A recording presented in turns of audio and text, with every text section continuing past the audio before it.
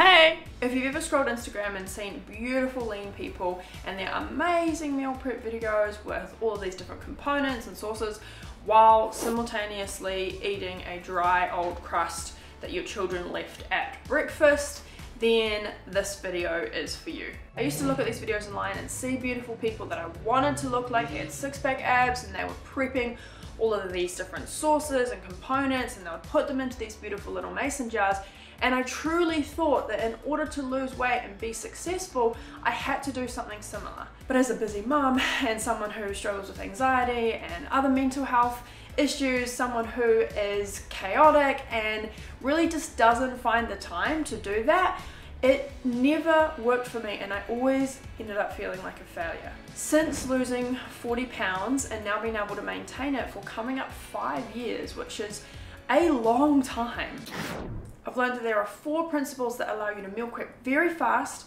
have endless combinations of meals that you actually enjoy and are intentionally low in calories so that you can get into that calorie deficit and start losing weight if that is your goal. Before we get into it, can we take a moment to appreciate these new pants that I got?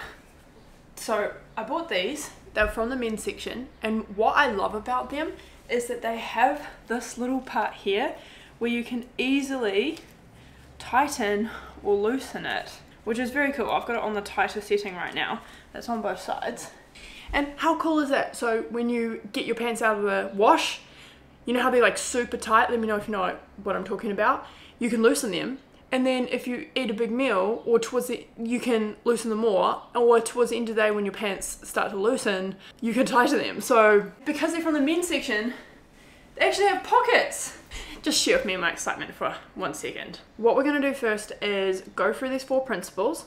I'm gonna show you the prep that I do as we go through that and then we're going to put some of these things together. Principle number one is to always have some kind of cooked starch that is ready to go. We're going to be using something called the HATS framework, which I talk about in this video here, so definitely go and watch that next. Now, in that video, I use that to show how to build a weight loss bowl. And if you're wanting a really deep dive into how to do that so that you can consistently build meals that get you into that weight loss zone, then I've made a free mini course for you. You can check that out in the description. We're going to use that same HATS framework for actually meal prepping the components to put together these kind of bowls, which is a really fancy way for saying have foods in your fridge and your cupboard that are ready to throw meals together so that you can have something ready in 15 minutes before you go to Domino's and order pizza because it's just easier to do it at home. I've literally done that a million times.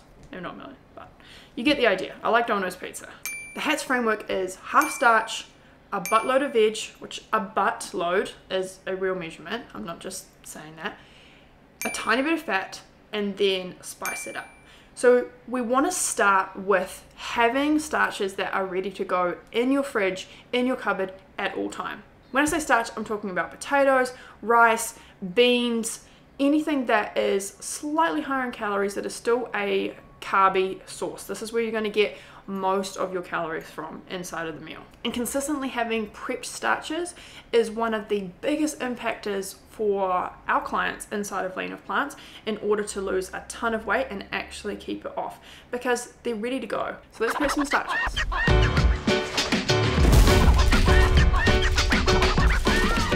This is not a starchy veg, neither are onions, but they're gonna go great roasted. Neither are carrots actually but they're to roast really well, so I'm to do them at the same time.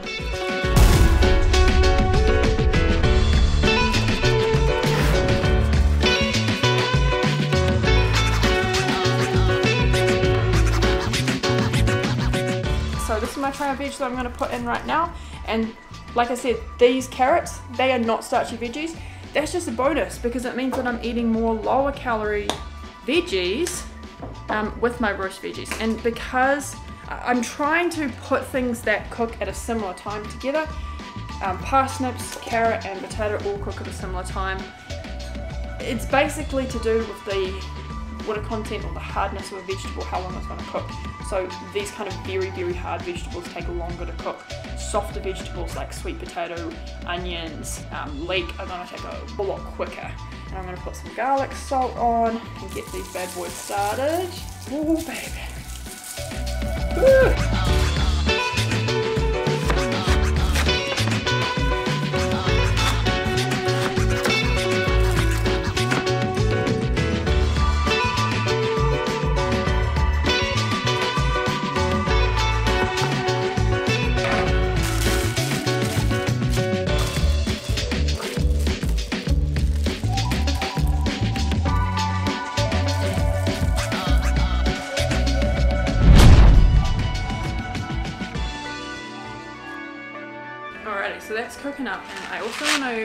Cook up some of these big couscous because I had this in a restaurant the other day. It was a very boring, sad salad for $25 when I was at a friend's birthday party.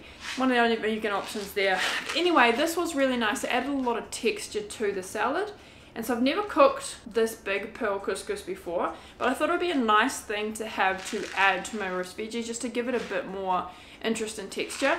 But I'd like to be inspired by the food that I see online and the food that I eat in other places, but I'm very select about that. I will try and take one component and add it to an already established system as opposed to recreating the system every time. So if I see a meal prep video and I'm like, huh, I like the way that they did X, I'm gonna try that. I pick out one thing to try. I'm not create recreating everything. So same with this. I had this in a restaurant. I'm like, I want to add this to a system that's already prepped. I'm not going to try and recreate the salad that I had. It wasn't worth it anyway. The point of this is to establish systems so that you build habits and routine and you get confident doing that and then you can spice it up by like adding different things later. And this on the packet, it does say to use oil. It says heat one tablespoon of oil in a saucepan. I'm going to use a tiny bit of this because spray oil because I'm a bit scared at how it's going to turn out without any oil. And I do this very, very occasionally where I'll use a very, very, very small amount.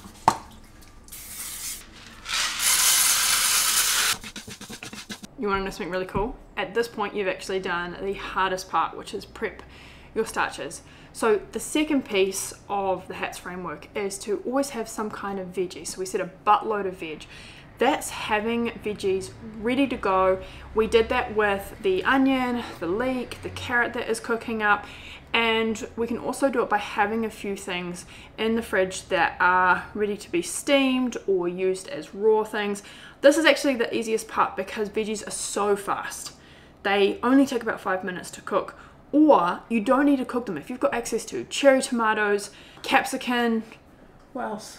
Lettuce, rocket, bell peppers, grated, little baby grated carrots. Ah, I don't even know. Like all the things that you go to if you go to literally any supermarket in the States. And the more of these things that you can buy pre-prepped, the easier your life is going to be because it's you're removing an obstacle to you actually eating it. Do not get caught in this idea that you have to grow your own vegetables and eat organic and chop everything from scratch in order to be successful because simple question is that working for you right now?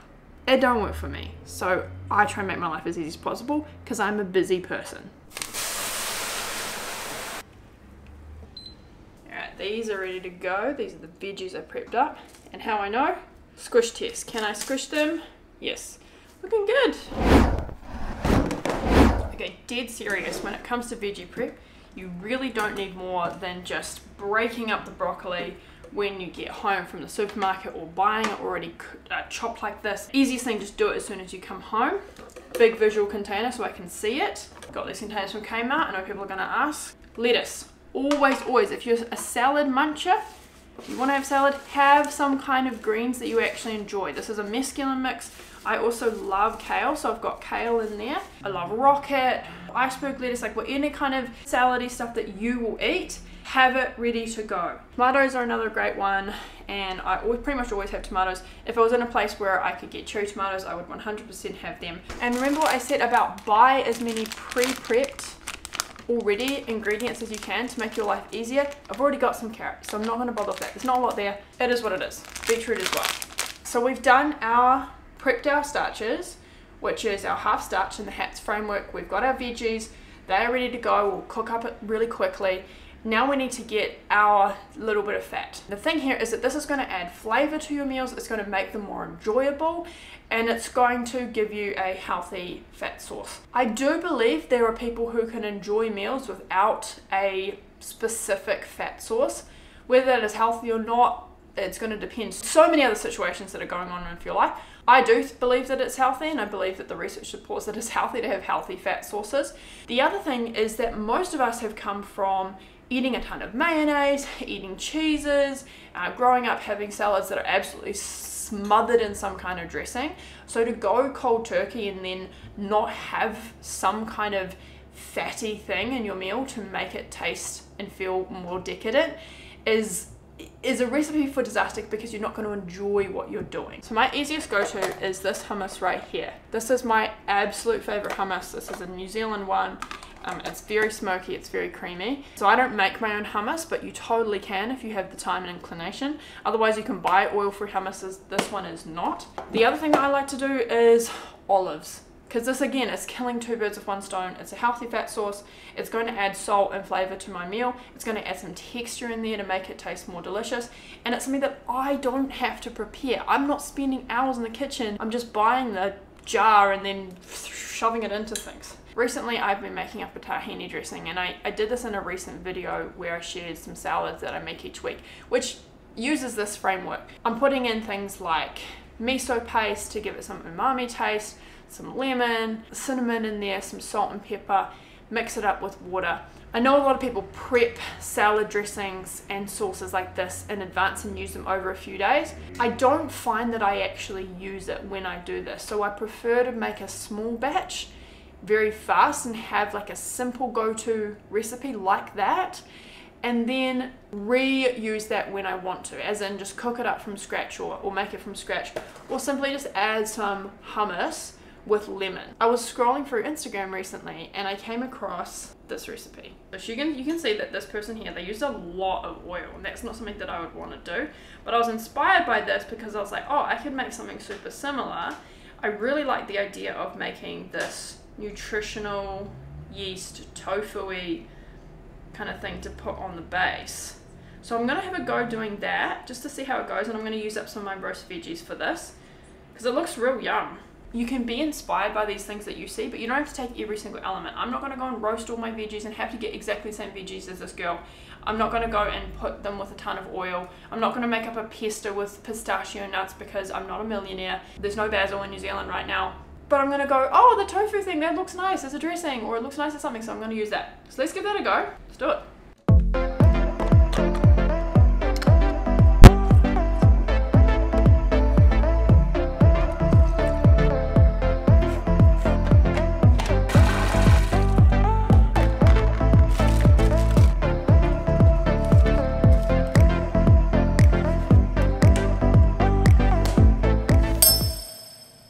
Piece of the HATS framework is to spice it up. You want your meals to taste good so that you keep coming back to them. And we're already doing that with our dressings and our hummus or anything else, olives and things like that. But what I found is if I have a little kind of fancy component, like pickled onions or some toasted sesames or uh, like a some herbs or something like that, it really just takes my meal to the next level. And it also becomes more visually appealing. Restaurants know that this works. It's why that they plate your food up really, really nicely. It's also a big reason that so many of the recipes you'll see online do have these very fancy complicated components because they're trying to make it look more visually appealing. It works for your taste buds and it looks great. Just because they do it doesn't mean that you have to though and it doesn't mean that it's the most efficient use of your time and energy if you're on a weight loss journey and you're a busy person. So my all-time favorite way to do this is with, what the heck is that? Pickled onions. And the recipe is very, very simple. All you need to do is mandolin up some red onions, put in some vinegar, uh, some salt. I like to put chili flakes and we absolutely devour this. It's beautiful and it just adds so much flavor to meals. Pickled onions is where it's at. The other consistent one that I do is toasted sesames. So I just toast up a large batch of these. I keep them in the fridge and we actually have a little tiny dispenser like a everything bagel seasoning dispenser which makes it really easy to put them on basically every meal. Don't knock uh, herbs. Having some kind of herb that's in season that you can quickly chop up and just sprinkle over your meals. It's going to add so much flavor and prettiness. Lemon is another one. Lemon wedges, a little bit of lemon juice, spritz it on there. It's going to take things to the next level. And as you can see, there's only two of these components that I actually made myself. Chili flakes, hot sauce, it can be that simple you want to have a very limited parameter. Here's, here's the thing. I've seen so many videos and I've actually got a recipe book which is build your own things and here's infinite numbers. You don't want infinite numbers. You don't want infinite combinations in that because it's overwhelming because there's too much choice. you really want to pick two things that you like and then you just do them consistently and then when, once you're confident you add in one more thing one of the biggest parts that you're trying to avoid with meal prep is overwhelm. So don't make your meal prep feel more onerous. Make it feel lighter and easier so that you follow through and do it only switch things up if you're absolutely in 100% a million percent bored of it. Because you've got enough variation in the different veggies that you, you're using based on seasons kind of like greens that you're using the way that you plate that together. There's so much vari- variation in that that you don't need a lot of other variation in different things. Okay so this is looking done. I don't love the color of it. If i was going to make it again i probably wouldn't toast it beforehand but i was a good girl and i followed the recipe so. When does that happen? what then i'm a good girl? No, well, yes, but that you follow the recipe. there we go i know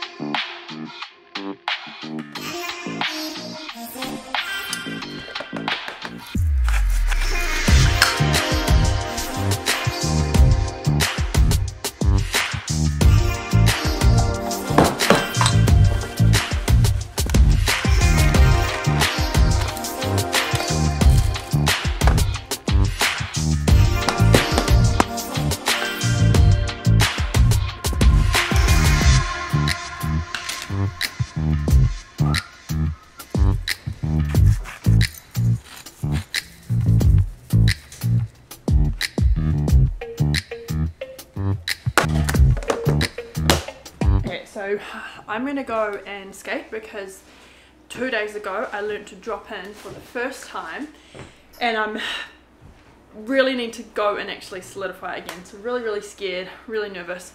Gonna give that a go and then come back and make up a meal because I really don't like eating when I feel nervous about something. But made this for Nick and I would eat this. Like there's nothing in it that wouldn't be amazing for weight loss and Nick is trying to be more intentional about his diet as well. So I made this for you. Yay. That'll work nicely. There you go. Ah, my love. Oh my goodness, there's so much in there. It's a goodie. Came back from skating. It was a little bit demoralizing, honestly. It's taught me so much because I recently learned to drop in, like this week. I think I was saying I also had an eye appointment which I'd forgotten about, so I got my brows done and my my eyelashes like tinted. This journey of learning to drop in has taught me so much about the process of learning. It doesn't feel good. I thought that once I learned how to do it, it would just click for me and everything would feel like amazing and normal and, and natural, but it, it hasn't. And so I went and I did like 30 repetitions of it. Felt horrible, nothing felt good, but I was like, I can control my reps. I can't control right now how it feels. I can't control like my form or anything like that. Like I can make little tweaks, but really just doing the thing is what is going to get me better. That is how I win at this game. And I did a podcast recently about how to gamify your systems, how to make dieting more fun so that you can win more because that's how children learn. Whereas adults, we get super serious about things and then we, we never play and we always feel like we're failing, which means that we don't repeat those behaviors that are ultimately going to get us to our goals because they're not satisfying to do and to keep doing. So if you want to give that podcast episode a listen, it'll be linked in the description. It's a goodie.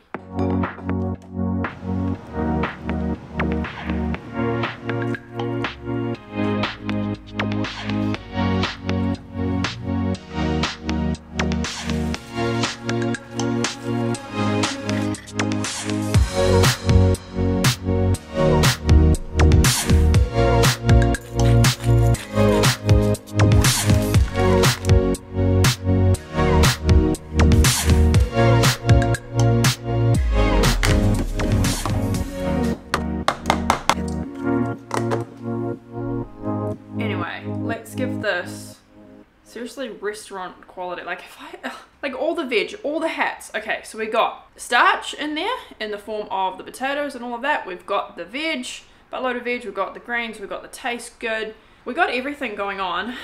Let me just have a go with this. Cheers. Mmm, it's gone cold. I like the couscous in there. Get some of that tofu stuff. Mmm, really yum. I can't wait to go and inhale this off camera. like a fiend. Before I do that, let's talk about some of the common mistakes people make with meal prepping and how you can avoid them so that you are, a prepping goddess. I mean, for starters, if you just follow this framework, cooking up your starches, making sure you always have some starches that you enjoy, having veggies ready to go, having some fat sauce, having some flavor, flavor components, whether you buy them or prep them, that is going to give you the best bet to make some kind of bowls. The biggest mistake I see people making is that they try and prep recipes rather than prepping components. And then they're making big batches of things that they don't actually enjoy, so that ends up being left in the fridge. All these components that you see me use today, those are things that regardless of what I make, they can be used in salads, stews, they can be uh, reheated, my kids can snack on them. And with the couscous, if I don't love it, I, I can freeze part of it. So it's not gonna go to waste. I've got so many options of what I can do. That brings me to the second mistake that people make though, is that they try and give themselves so many different things. They're constantly following meal plans. I hate meal plans for this reason because it will say prep X on this day, prep pancakes, prep this huge amount of stuff. Like prep this thing on Wednesday, Thursday. Like they're trying to do so much prep. They're trying to create entire meals, put them in little containers. It's too much work and it requires too much thinking. And so you're going to get very overwhelmed. Whereas if you keep those parameters simple, so for me, my parameter is like what's in season? What's in season in terms of veggies? It's potatoes, it's kumara, like sweet potato, carrots, they're always in season. I got some leek in there. What greens do I like? It's pretty much always broccoli. It's pretty much always some kind of mesclun or kale. What kind of salad dressing do I like? Pretty much always the same thing, which is that tahini one, or I use hummus, or I use avocado. I've always got those onions, and I've always got the sesame seeds. It doesn't actually differ too much and if I want it to, I experiment, as you saw me do with this meal. And that's the third mistake that people make, is that when they do experiment, they make huge quantities of things and they make it super complicated. They, they start from scratch. They think that they're going to feel like amazing when they follow someone else's recipes to the T. And then because it's not what they're used to, what they enjoy, or what fits into their lifestyle, then they don't end up eating it or liking it and then feeling like they're a failure at prepping. You'll notice what I did with that tofu is that I used, I cooked a very small amount or prepped a small amount because I don't know if I like it.